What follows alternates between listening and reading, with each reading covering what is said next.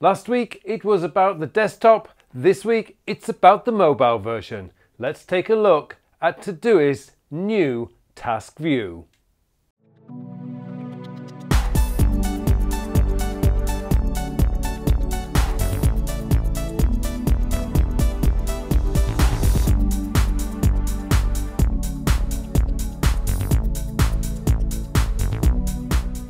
Hello and welcome to another episode of my Working with Todoist series. My name is Carl Pullein and in this week's episode we're going to take a look at the task view, I should say the new task view on the mobile. And I'll just show you a few things that you may need to know that are a little bit different from the desktop which I showed you last week. And if you missed that episode, you can recap because it's just up there. Okay, now before we go any further, I would just like to say if you do get any value from this episode, please help me by hitting that like button below. And if you haven't subscribed to my channel yet, I would be ever so grateful if you would subscribe. Okay, let me now take you in to my mobile version of the new Todoist Foundations. Okay, so what I have here is a task in my inbox, which is to ask RK to make an appointment at Hannah Dentist for scaling on Monday. Hannah Dentist is the name of my dentist and I need scaling. So when we tap, now in the new to Todoist Foundations, when we tap on the task itself, we get this uh, box that comes up. Now, this comes in two versions. This is the first version, this is the default version, if you like, and it is almost identical to what you will get in Task View on the desktop. So essentially what you've got is inbox, uh, up at the top and if I tap that it's just going to take me exactly the same as the desktop. It takes me straight back to the inbox. So let's go back onto there. So ask Hannah dentist uh, so so what I've got here is uh, first up on the left at the bottom here we've got no date. I can tap that and it will give me the date. So I can tap that and that's now going to give me a date of today.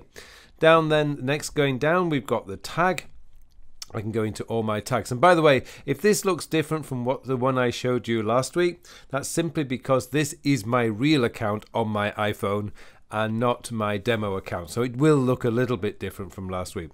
Uh, next time we've got the flags, so I can hit the flags if I want, and I can hit a reminder, just like, as I say, the reminder is different from the date. This is just adding a time and date so that it will come up and tell me something. It'll do something like send me an email or a text message or something. And then we've got the add quick entry, so I can add a quick comment just by adding there. And then we've got the three dots. And again, we could we can rename the task, we can move the task to any project we like, duplicate the task, copy the task link. More on that in a future episode. Show the completed subtask, activity log, and delete the task. So we've got those things there. And just like on the desktop, we can add the subtask by tapping there and start adding subtasks. So you can add the subtask right in there, no problem at all. Now, the thing is, as you probably noticed, is if I tap on that, it gives me a kind of half screen view. I can actually move it up to a full screen view just by dragging it like that. And now I have this whole screen available to me to edit this task, which is again, like I mentioned last week, this is another way that it can help us because it can help us to slow down and just really think about the task, particularly adding a date.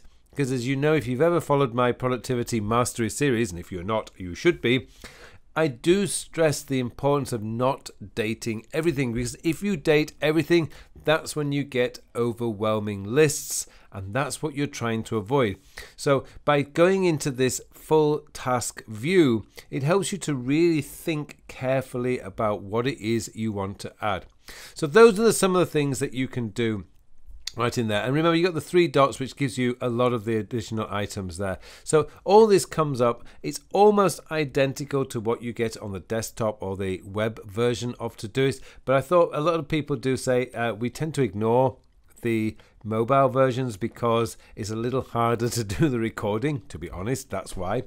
Um, but this is just a good way of showing you essentially how the task view actually works. It's simply as just tapping on the task, it brings it up and you can do the full editing. And what I found with playing around with this is this is actually a lot easier than it was in the previous version of Todoist. And that's just my humble opinion. So there you go, just a quick run through of the the task view on the mobile device. I hope you found this useful. Uh, don't forget, if you do have any questions at all about the new Todoist Foundations, then just add your question in the comments below and I'll be more than happy to answer it. It just remains for me now to wish you all a very, very productive week. Thank you very much for watching this video. Now have I got something special to tell you about. The Time and Life Mastery version 3 course has launched. Now this course is transformative it will transform your life. If you find that your life is drifting from one day to the next and that you feel that you're not actually achieving your goals, then this course is going to show you how to change that. It's going to show you how to identify what is truly important to you. It's going to show you how to find what it is you want out of life and then show you the steps that you need to take in order to get there. This course is amazing. The feedback I've got from versions 1 and version 2 have just been tremendous. It has helped so many people and I want this opportunity to tell you that it can do the same for you. I hope you will take a look at the course, have a go, take the course and start transforming your life today. This course will do that for you. Take a look, get yourself enrolled and hopefully I'll see you in the course.